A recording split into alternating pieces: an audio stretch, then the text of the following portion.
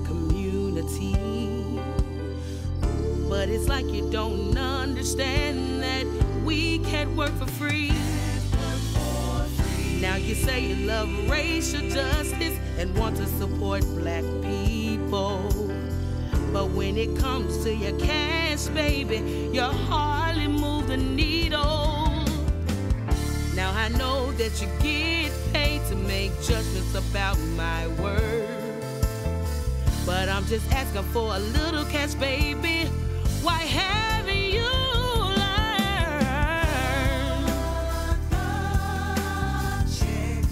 Just write the check,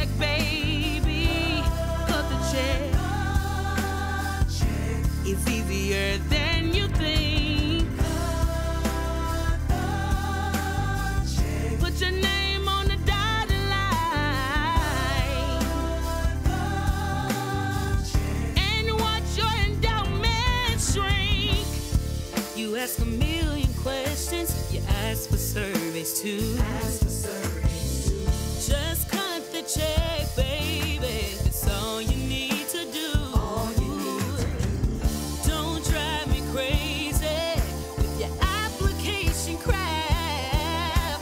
You have my 990, you have